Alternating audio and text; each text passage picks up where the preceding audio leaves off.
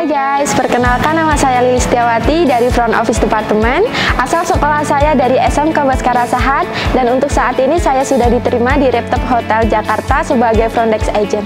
Kerennya lulusan dari IDEA, kita tidak perlu mencari kerja tetapi user industri yang datang ke IDEA Indonesia untuk mencari pekerja. Mengikuti program di IDEA Indonesia adalah salah satu pengalaman terbaik dalam hidup saya, program yang sangat luar biasa.